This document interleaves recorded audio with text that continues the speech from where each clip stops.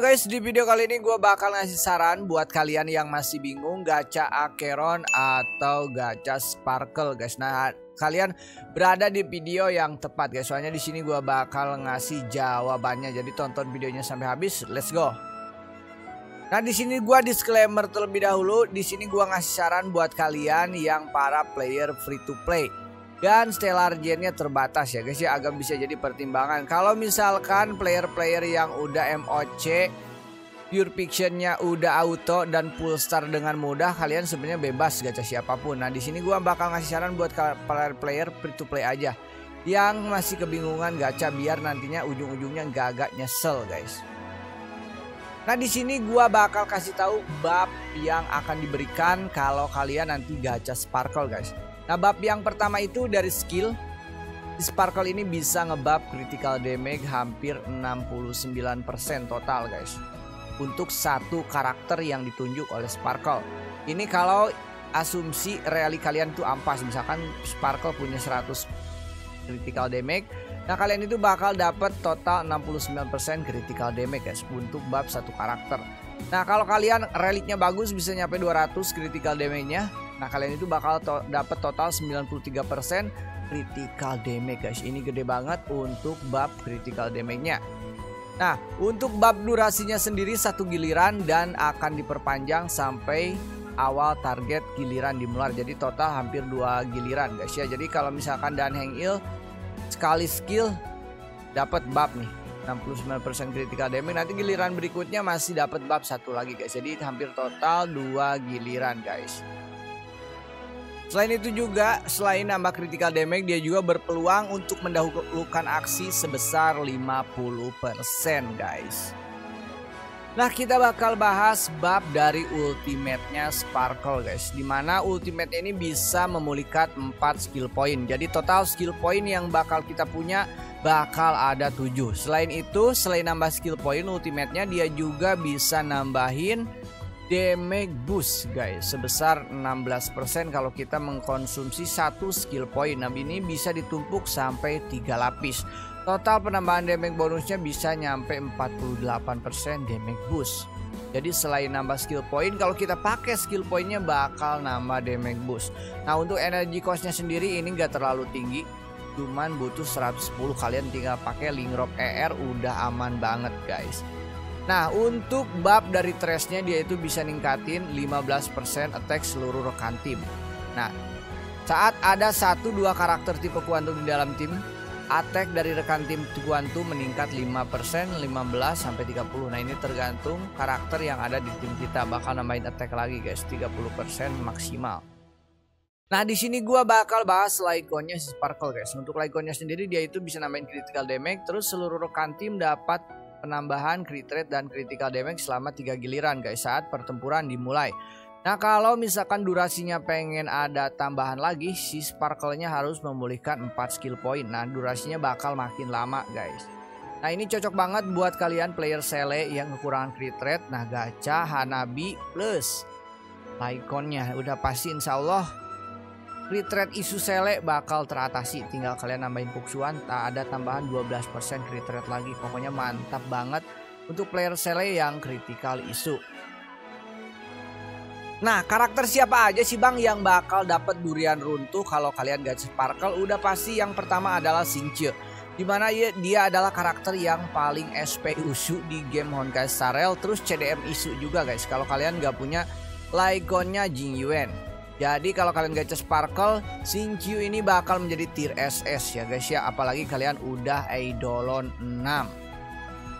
Nah untuk karakter kedua yang paling kerasa banget bab dari Sparkle ini yaitu si Danheng Imbibator Lunae guys. Di mana Danheng Imbibator Lunae ini adalah karakter yang SP isu juga Terus kalau di bab Sparkle udah pasti nih Jangan ditanya udah pasti broken dah broken ya guys ya Soalnya CDM damage bonus plus unlimited skill point kasarnya guys. Kalian bisa ngeluarin damage sebesar-besarnya. Apalagi kalau kalian masukin satu lagi harmoni seperti Yukong ataupun si bronya udah pasti nih.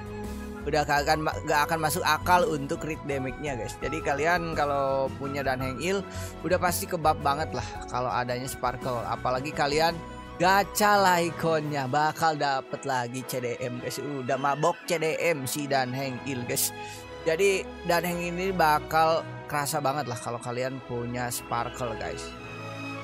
Nah untuk karakter selanjutnya saran gua kalian gacha laikonnya Sparkle buat siapa nih buat Sele guys. Soalnya laikonnya Sparkle ini bisa nambahin crit rate Sele ini crit isu banget. Jadi kalau kalian punya Laikonnya Sparkle ini ngebantu banget buat Sele guys. Biar dia gak crit isu. Soalnya Sele itu damage-nya gede banget guys. Sekali shot bisa 200 ribu 150 ribu. Tapi kalau gak crit gak ada damage. Jadi kalau kalian punya Stellar Jet lebih saran gua mending gacha Laikonnya kalau kalian pengen ngebab si Sele guys Nah di sini gue bakal ngasih tahu party-partinya guys, agar kalian itu tahu karakter mana aja yang harus kalian gacha ke depannya nanti. Nah, buat party dan hang il, partiannya itu bakal seperti ini guys. Ibaratkan ini Suei ini Sparkle ya. Nah di sini gue bakal masukin dan hang il, Ruan Mei, Sparkle dan Wocha. Nah untuk Ruan Mei ini kalian bisa ganti sama Yukong atau sama Bronya atau sama si Mela atau sama Tingyun. Nah bebas guys. Untuk masalah yang satu lagi, tapi udah pasti di sininya udah pasti Sparkle guys. Untuk killer udah pasti sama Luocha ya guys ya. Agar dia juga bisa hemat skill point. Jadi cocok banget untuk partinya si Dan Heng Il. Nah partinya bakal kayak begini ya guys ya. Yang bisa diganti Ruan Mei-nya. Kalau misalkan kalian masukin Sparkle. Nah terus untuk party yang kedua udah pasti party mono quantum dari Xingche. Nah di sini udah pasti Shuwei ini anggap Sparkle. Di sini masukin Silver Wolf, ada Puxuan dan ada Xingche. Udah pasti mono quantum saat wajib Silver Wolf guys. Soalnya dia yang bisa bikin weakness. Jadi Silver Wolf ini adalah karakter kunci. Nah untuk sustainnya udah pasti Puxuan yang bisa namain crit rate ini cocok banget pokoknya buat party mono quantum kalian buat kayak begini guys party mono quantum nah kalau kalian DPS nya sele nah kalian tinggal diganti aja sele di sini nah jadi partian mono quantum ya guys ya Nah terus untuk party selanjutnya mungkin party dari si Jingyuan yang Jingyuan juga butuh skill, boros skill banget. Nah kalian bisa masukin Sparkle di sini. Masih masuk di partinya Jingyuan guys. Nah satu lagi kalian bisa masukin Ruan Mei ataupun Tingyun. Nah untuk killernya udah pasti Huo Huo agar si Jingyuan juga cepat ultimate.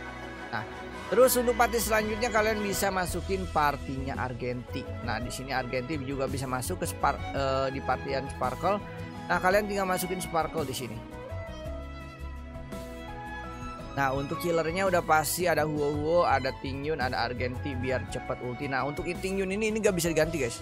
Jadi tetap harus Tingyun buat ngebab Argenti Tapi untuk yang ininya kalian bisa masukin Sparkle. Nah itu mungkin beberapa party yang gua rekomendasikan buat kalian yang mau gacha Sparkle. Nanti kalau udah ada DPS-DPS baru Nanti mungkin gua bakal bikin konten lanjutan guys Nah itu dia guys untuk masalah Sparkle semoga bisa jadi pertimbangan kalian untuk gacha Sparkle atau tidak. Nah di sini gua bakal bahas gacha si Acheron guys. Nah untuk si Acheron sendiri sebenarnya bisa digantiin sama tiga karakter ini guys. Soalnya tipe serangannya itu sama AOE. Nah meskipun dia bakal lebih broken udah pasti ya guys bakal lebih broken dari tiga karakter ini tapi fungsinya gak beda jauh sama karakter ini guys. Kalau misalkan bener-bener pas rilis dia itu damage-nya itu dominan AOE guys. Terus uniknya dari karakter si Acheron ini dia itu karakter yang wajib banget di partinya ada karakter nihility seperti Silver Wolf, Vela, dan Well. Soalnya karakter-karakter ini bisa memberikan debuff. Semakin banyak debuff maka semakin cepat juga si Acheron ini melancarkan ultimate. Jadi dia tidak menggunakan energi regeneration rate ya guys ya untuk melancarkan ultimate, tapi dia menggunakan stack dari debuff. Jadi kalau kalian mau gacha Acheron persiapan juga karakter nihility seperti Silver Wolf, Pela dan Shield. Ini bakal jadi karakter penting yang ada di party Acheron guys. Nah jadi gitu aja guys. Untuk kesimpulannya dari video ini kalau kalian mau ngebab dan hengil terus mau ngebab since mau ngebab sele nah usahain gacha si sparkle. Soalnya itu bakal ngasih value yang sangat tinggi buat tiga karakter tersebut. Terutama laikonnya sparkle itu solusi banget buat crit isunya sele. Apalagi rally kalian ampas-ampas yang select critnya kagak ada. Nah solusinya salah satunya Laikonya Sparkle. Tapi kalau kalian udah bosen sama DPS DPS seperti si Kapka, terus Serpal, Jingyuan, kalian pengen DPS Lightning lebih broken, nah kalian gacanya si Akeron guys. Terus kalian bukan user Daniel juga, bukan user Mono Quantum, nah gaskeun lah gacha si Akeron agar kalian bisa punya DPS terkuat dan punya party baru ya guys ya. Main di baper di baper gak main energi jadi goodbye Ning Yun. Acheron itu pokoknya geng nihiliti guys. Pokoknya nihiliti ikut gua Pokoknya gas Pokoknya kalian kalau geng Acheron. Nah kalian coba komen di bawah. Kalian gak gacha Sparkle atau gacha Acheron Cobalah kalian komen di bawah. Terus kalau kalian yang mau top up Jangan lupa top upnya di GSX 619 Terus kalian yang mau joki rawat akun Honkai Star Rail Mau bedah akun Nah jokinya juga bisa di GSX joki guys. Sampai bertemu di video selanjutnya. See you next time. I miss you